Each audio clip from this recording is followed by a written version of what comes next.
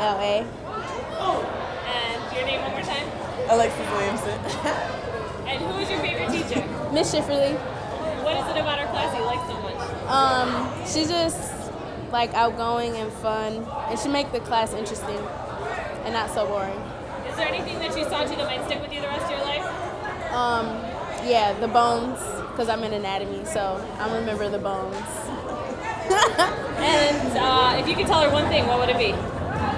Um, I don't, I don't know. Keep teaching, and when I come back in three years, you better be gone, and you better do what we talked about, so she knows what I'm talking about. All right, thank you.